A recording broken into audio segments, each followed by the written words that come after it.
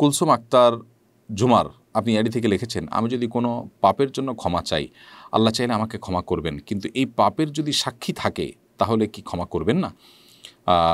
বলে রাখা উচিত ওই পাপ দ্বারা কারোর ক্ষতি হয়নি।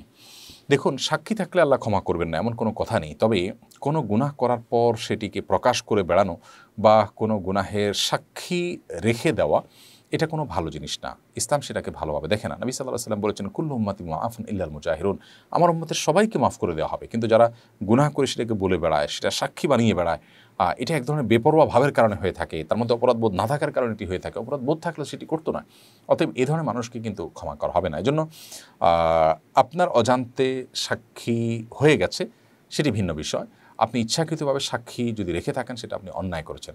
সেই অন্যায়টাও যদি আপনি বুঝতে পেরে ক্ষমা চান আল্লাহর কাছে, সেটাও আল্লাহ তালা মাফ করবেন। অতএব সাক্ষী থাকলে আর মাফ হবে না, ব্যাপারটা সেরকম না। আল্লাহ রবুল্লা আলমিন চান বান্দার অপরাধগুলো গোপন থাকুক। কেমন মধ্যে আল্লাহ তালা গোপনে সেগুলোকে ক্ষমা করে দিবেন। অনেক অপরাধ এমন আছে। কিন্তু আপনি যদি সাক্ষী রাখেন, তাহলে সেক্ষেত্রে আপনি নিজে নিজের জটিলতা বাড়লেন। কিন্তু সাক্ষী রাখার মানে এই নয় যে আল্লাহ ক্ষমা করতে পারবেন না। আল্লাহ তালা ক্ষমা করতে পারেন। শির ছাড়ানো যে কোনো অপরাধ করলেই কিন্তু আল্লাহ তালা ক্ষমা করতে পারেন। বিধায় প্রায়শ্চিত্ত আপনি করছেন কিনা ইস্তেকফার আপনি করছেন কিনা, সেটা হলো মূল বিষয়। যদি আপনি করেন, ইনশাআল্লাহ আল্লাহ তালা আপনার এই ধরনের গুণাও কিন্তু মাফ করবেন এবং সেই জন্য আপনার কাছে মাফ চাইতে হবে। পিঙ্কি আখতার আপনি লিখেছেন, অসুস্থতার কারণে সুইসাইড করলে কি গুণা হবে? অবশ্যই গুণা হবে। ইমানদারকে ধৈর্য ধারণ করতে হবে। অসুস্থতা যত বেশি হোক না কেন, আল্লাহ আমাদেরকে সবর, তৌফিক দান করুন এবং এ ধরনের গুণা থেকে বেঁচে থাকার তৌফিক দান করুন। তাইসির মাহমুদ হামিম আপনি লিখেছেন, আন্তর্জাতিক কেরাম, কেরাত সম্মেলন করা কি জায়েজ আছে?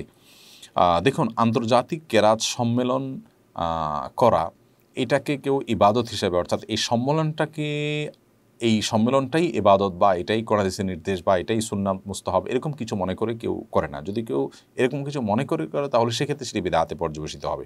আর তা না হলে শরিয়ার অন্যান্য সীমানা যেগুলো আছে, সেগুলো লক্ষ্য রেখে যদি করা হয়, লঙ্ঘন না করে যদি করা হয়, তাহলে সেক্ষেত্রে এগুলো জায়েজ। মুনিফ রহমান আপনি লিখেছেন, আমার ও আমার পরিবার আপনজনের হেদায়তের জন্য দোয়া করবেন।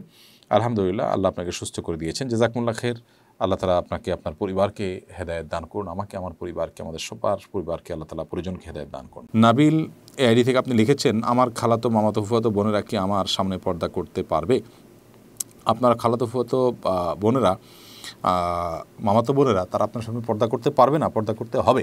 তাদের পর্দা করা তাদের জন্য ওয়াজিব এবং আপনিও পর্দা মেনটেন করা ওয়াজিব কারণ তারা আপনার জন্য নন মাহারাম